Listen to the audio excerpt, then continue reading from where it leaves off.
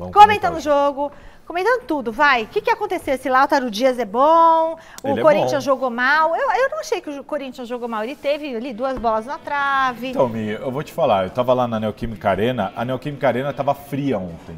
Fria de público ou É, fria de fria, frio? quase 40 mil torcedores, só que o time do Corinthians, ele muitas vezes ele impede que a torcida inflame. Por quê? quê? É, por exemplo, se você pegar só os melhores momentos, o Roger Guedes tem uma de letra, o goleiro salva, o Murilo manda uma na trave, o Gil manda outra na trave, Ah. teve o gol anulado, teve os- o, gol que valeu, e você pensa, pô, o Corinthians criou mais oportunidades de gol, até que é verdade.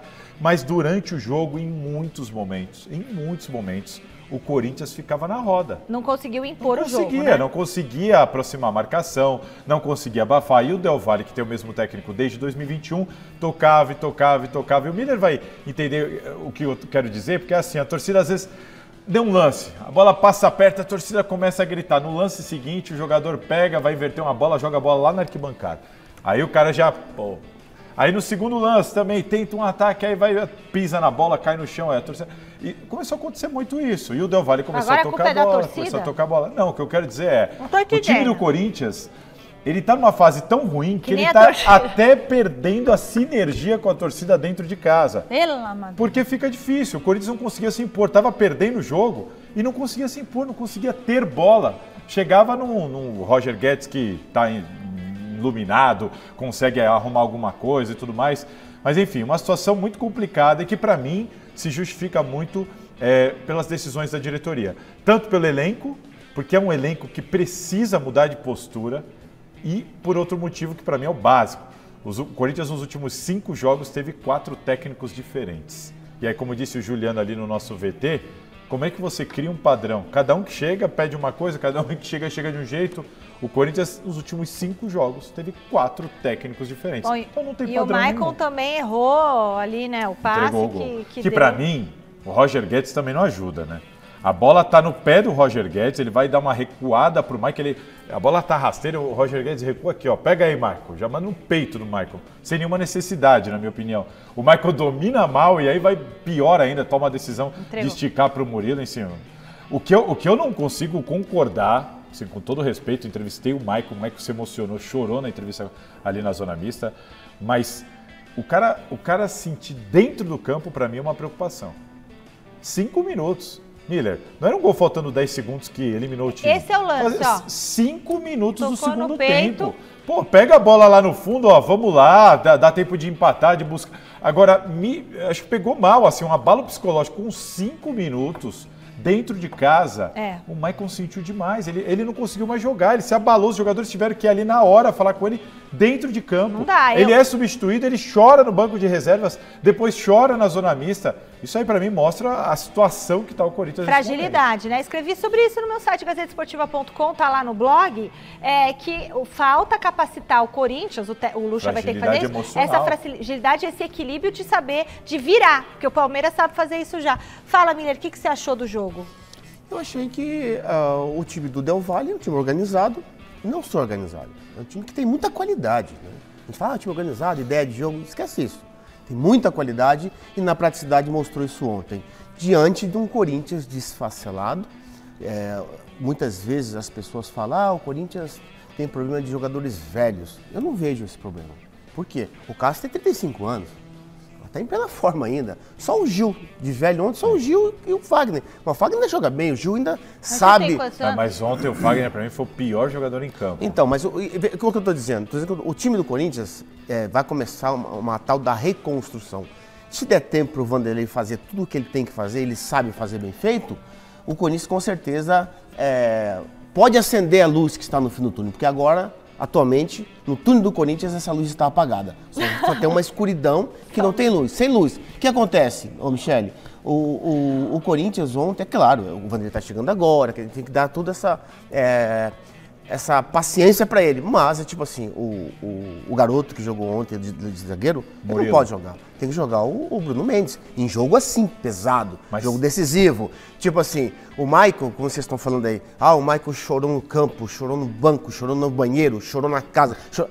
Ô, pera aí, meu. ô. dá pra ser vai ter, chorão vai, vai- também, né, vai ter que dar uma chupeta pra ele agora? Pelo amor de Deus, o jogador tem, que joga no Corinthians, em time grande, tem que, saber, tem que ter personalidade. É. E a tal da personalidade, ninguém vai te dar. Você tem que, dentro de si, tirar ela e, e, e sobrepor diante das adversidades. Então o Vanderlei deu oportunidade para ele.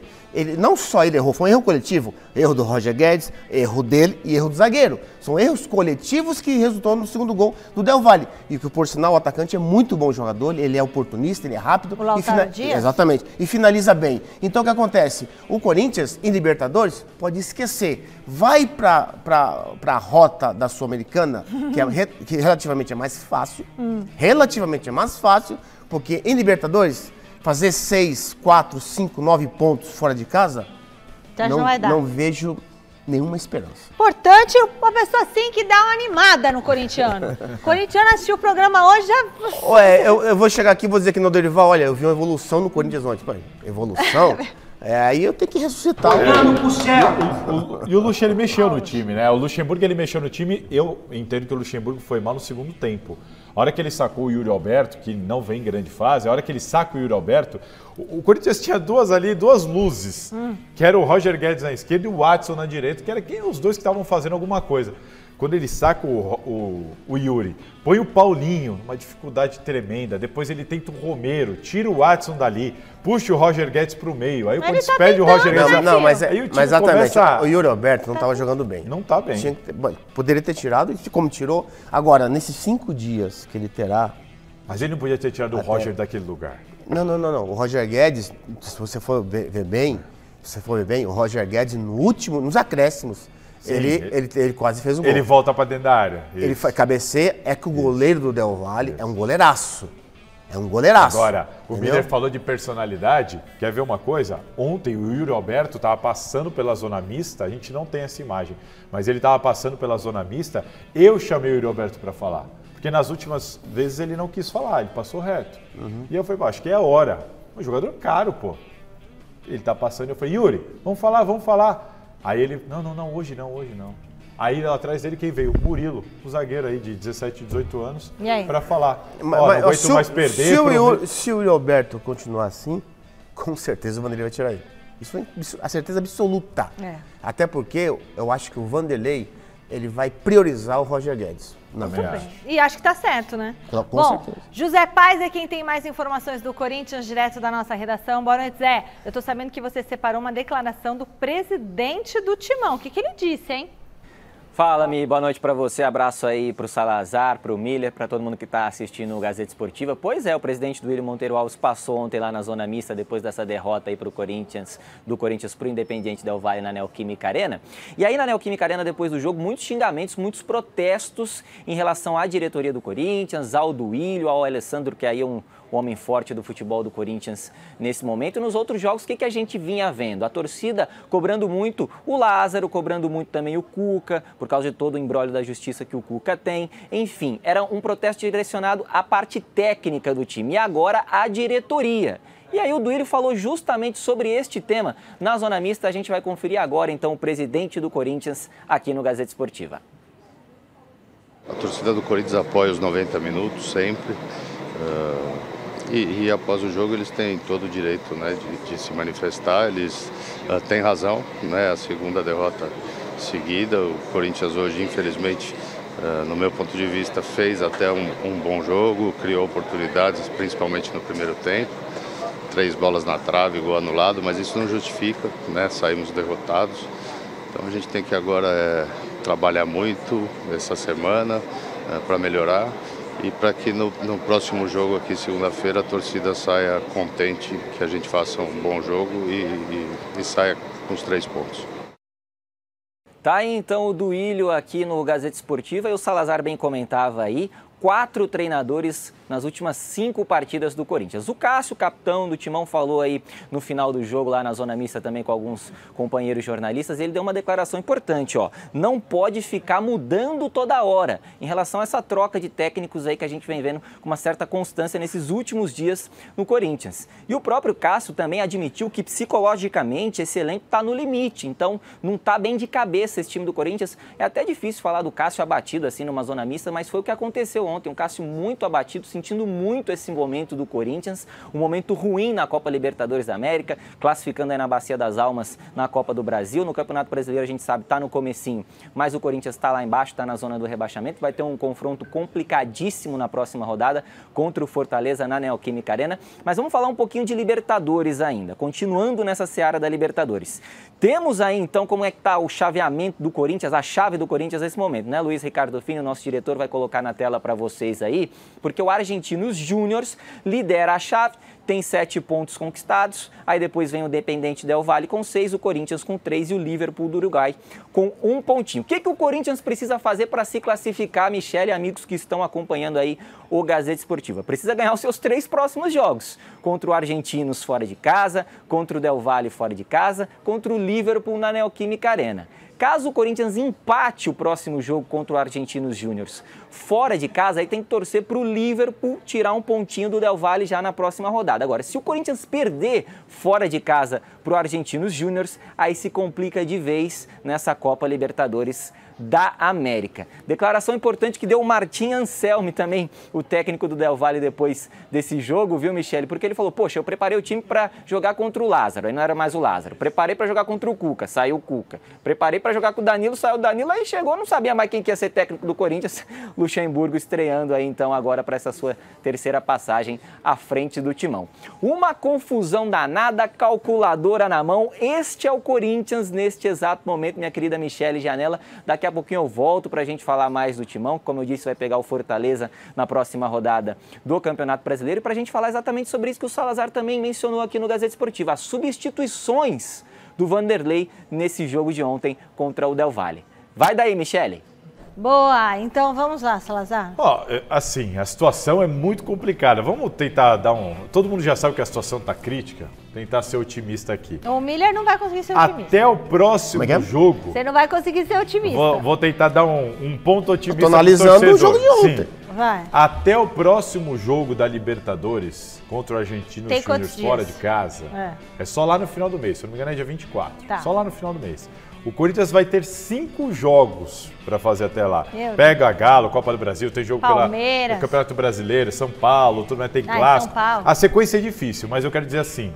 O Luxemburgo agora vai ter cinco dias para trabalhar no CT. Tá. Aí vai pegar o Fortaleza, aí ele vai ter cinco jogos e provavelmente ele vai ter o Renato Augusto de volta. Aí, Ou seja, Corinthians e Argentinos Júniors, essa decisão na Argentina, é com ele. já é um jogo com o Luxemburgo bem mais consciente do que ele tem, com o Luxemburgo já, depois de alguns treinos no CT, o Luxemburgo já provavelmente com o Renato Augusto de volta. Então eu estou querendo aqui tentar trazer um pouquinho de otimismo. O Corinthians contra o Argentinos Júniors pode ser um Corinthians bem diferente deste que nós vimos ontem. A questão é saber, Miller, é apostar se vai ser para melhor ou para pior. Né? Até porque o Argentinos Júniors é, é, é, muito, é o melhor time é, na chave. Sim já está praticamente classificado. Tem sete pontos, decide em casa. Tem dois jogos em casa Argentino Júnior.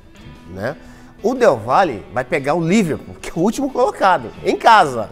Vai então, ganhar. o Corinthians precisa o quê? Vencer o Argentino Júnior e torcer para uma combinação de resultado. E vai ter que ganhar do Del Valle fora quando, também. Quando, o adver, quando você precisa é do adversário, é. fica mais difícil. E, e, tem uma situação, Michele, que aconteceu ontem, o Fini até pediu para eu comentar agora. É. O Marco Belo Júnior, repórter da Transamérica, Sim. ele postou a informação de que o Sornossa, que não entrou em campo, mas foi a Neoquímica Arena, jogou pelo Corinthians, campeão paulista em 2019, disse o seguinte: já joguei aqui. Eles podem mudar o técnico toda semana que não vai mudar nada. Enquanto não renovar o elenco, não vai ganhar os jogadores mais antigos se acomodaram. Nossa! Eu conversei com o Marco Belo Júnior, liguei para ele. Belo, como é que aconteceu isso? Aconteceu. Ele falou: ó, ele não falou isso, ele falou isso para um amigo ali, vestiário, pertinho da zona mista. É, falou num papo informal, não estava gravando. E ele não falou assim, querendo ser maldoso. Ele comentou, ele falou: oh, eu sou muito amigo do Gil, gosto do pessoal aqui e tudo mais. Mas, cara, não adianta. Enquanto continuar assim, o Corinthians não vai. ele está se referindo a quem? Vai, ele está se referindo Peraí, ao aí, aí, o Belo escutou o papo. Não, é, e... o Belo soube E eu conversei, como é que você soube disso? Ele me explicou tudo, como é que ele soube. Ele falou, não, ele conversou inclusive com o Sornosa, ele ligou pro Sornosa hoje, porque deu toda uma repercussão. O Sornosa acredita que foi mal interpretado, ah, e de repente meu portunhol, sabe assim? Sim. Mas enfim, eu acho assim, é uma declaração, Mira. O Miller tá aqui, pô. Então, o Miller é jogador. É, é, muito raro a gente ter um tipo de declaração dessa. É, quando o cara é ex-jogador, às vezes acontece. O cara vai lá, mete o pau. O Miller hoje pode falar o que quiser, jogou bola pra caramba. Agora, o Sornosa está em atividade, vai jogar contra o Corinthians. Ele Daqui, tá falando mês que vem pega o Corinthians. Tem gente é até Gil? Ele está se referindo quem? A Gil, a Fábio Santos, a Fagner, é isso? É, os mais velhos. Ele quem jogou. São? Com quem que ele jogou? Ele jogou com Cássio, com Cássio, Fagner, com a defesa, com a defesa. Jogou com o Romero. Fábio Santos. O Fábio Santos não lembro se estava em 2019. É, então, ele, é, o Sornosa ele não confirma, né? Ele fala, não, não falei isso. E quando o Belo liga lá, a esposa dele que atendeu, inclusive falou com o Marco Belo, falou, né, acho que foi um portunhol, acho que ele, ele não quis ser maldoso. Mas enfim, falou algo e o que chama atenção é que é um jogador em atividade, passou pelo Corinthians, vai jogar contra o Corinthians daqui a pouco. e falou algo, Miller, que a gente vem discutindo faz tempo aqui. Ele falou, não falou nada demais. É, o Juliano, para mim, com certeza não vai jogar com o Luxemburgo. O lateral esquerdo também não vai jogar. Então o Corinthians, Michel, precisa de contratações, de jogadores de peso, né? Mas só Júlio, né? E o Paulinho? Paulinho também é ah, ativo. Paulinho. É, também. O, o, Mas esses jogadores sem contrato até o Pro jogo de segunda-feira, o Vanderlei vai mudar muita coisa. Tem que mudar, não tem jeito. Tem que mudar. Thank you.